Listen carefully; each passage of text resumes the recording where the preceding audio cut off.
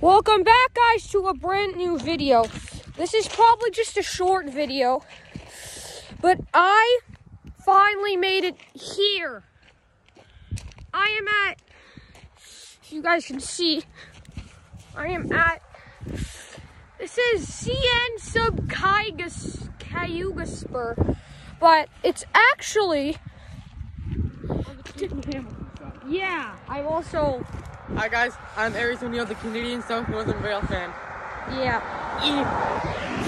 Most of you guys probably already know him. Forks Road. I am on right now.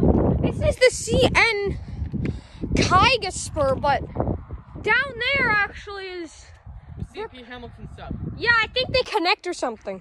Yeah, they actually do connect, as I uh, see through the map, because look, there's a there's a crossing over here and a crossing over here, and Love- there's also pairs of signals over here as well. So uh, come on, Yep. Landon, let's uh, go uh, look at this crossing a little bit more. Okay, which crossing?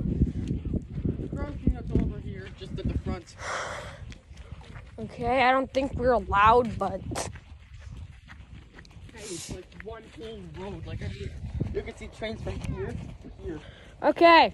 Like So where it's one one full meet. Partially, Yep. I. I don't know. I don't think it's double track. Okay, so okay, guys, I will make a video of the train. It will probably be a compilation of the train.